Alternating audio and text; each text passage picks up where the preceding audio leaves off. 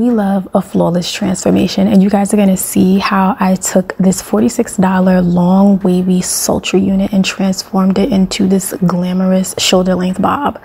I mean, we're gonna have some fun in today's video, so get your hair shears and your hair thinning comb and let's have some fun.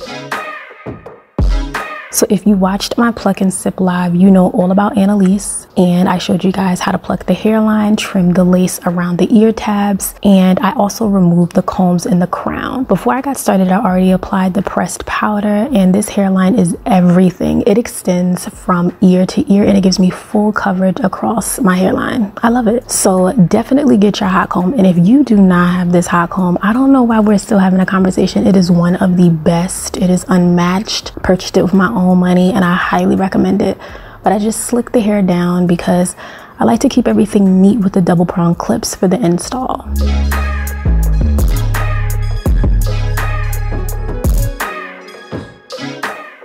For me, the best method for installing this unit will always be using the mini hardhead spray. It smells so good. I love the fragrance.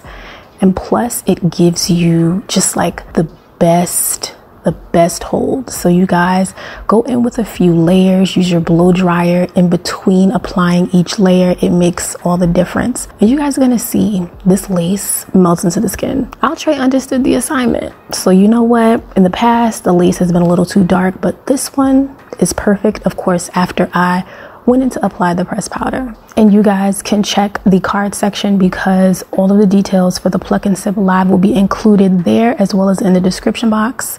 Because that's a more informal way where you guys get to learn about customization techniques and you know even for beginners intermediate or advanced. Now when i took this elastic band off melted is an understatement. I mean the lace disappeared.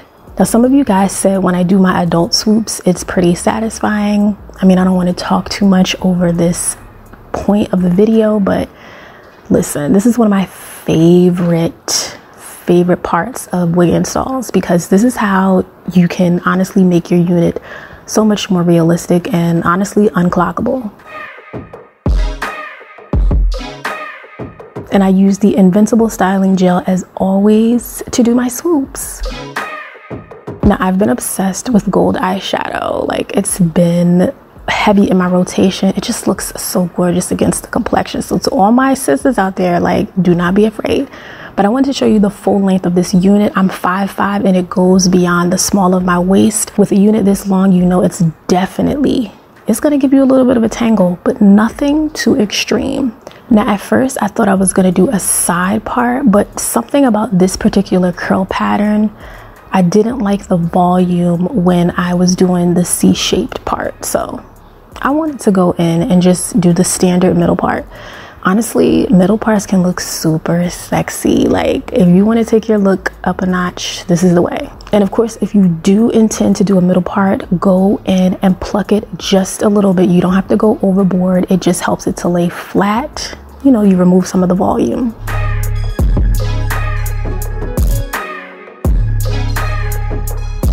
Now, how many of y'all would have rocked this long? Do you prefer the long or the short? Because, honey, the transformation is coming up.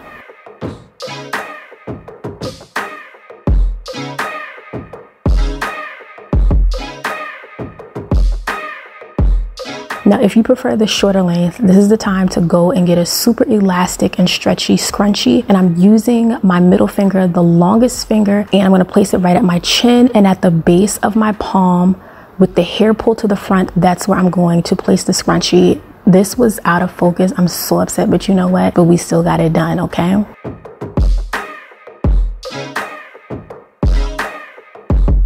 Now I'm going to take hair shears. I know y'all like to use kitchen scissors, craft scissors. Please, Lord, you know, deliver us from the craft scissor. But I'm going to cut the hair right at the top of the scrunchie. I think this is the perfect length.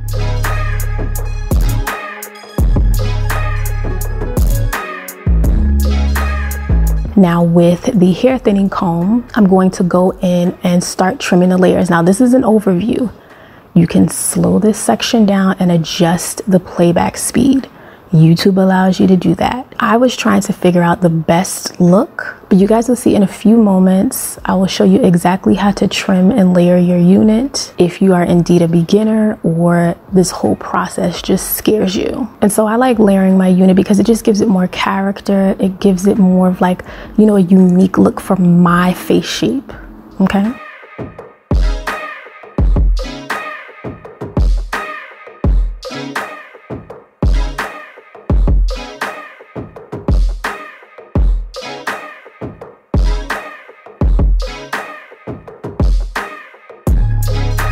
Now moving along, I'm going to take a very small section and I'm going to use an alligator clip to pin the rest of the hair back, which is super important. And I'm going to use a comb to kind of flip it in the opposite direction away from my face. And I'm going to start using the comb at around the cheekbone area and then start sliding it down.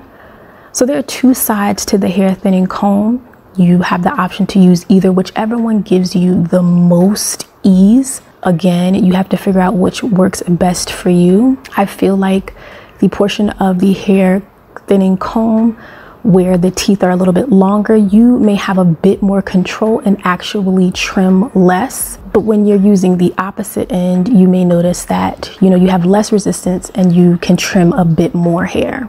Working in sections is the best approach if you are a beginner, if this scares you. Now, don't try to speed up the process because if you do, you may mess up your layers. You may trim too much. It may become uneven, and it's always easier to go in smaller increments.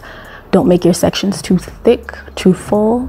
But honestly, I feel like y'all got this. If you were to do this on your own, do you feel confident enough? Was this video thorough enough? And as I move further back with each section, I'm going to place the hair thinning comb lower and lower because I need, you know, the layers to go shorter to longer as we move away from my face.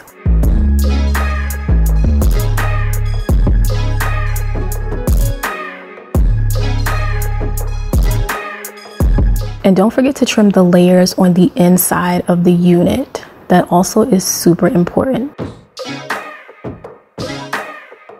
So about this point, I'm going to take a section that's closer to the inside and I'm going to actually layer this. Again, we want these layers to be uniform. We want them to just add dimension to the overall cut of this unit so it doesn't look super blunt.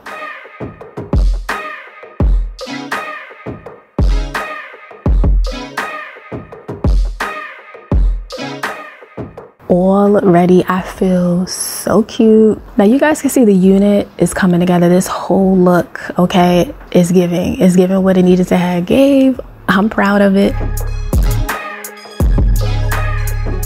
But I will tell you, keep combing your unit and situating it the way that you like.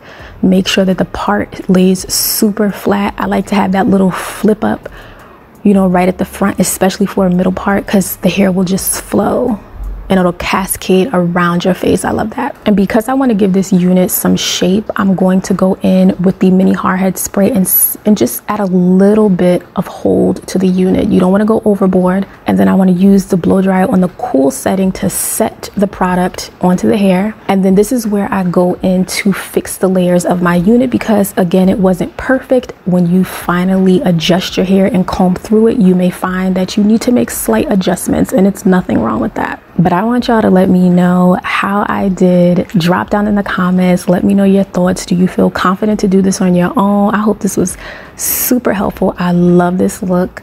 Be sure to subscribe, give this video a thumbs up, and share with your homeboys and your homegirls so they can, you know, turn that long wig into a super cute bob. Meet me in the comment section, and I hope to see you in the next one.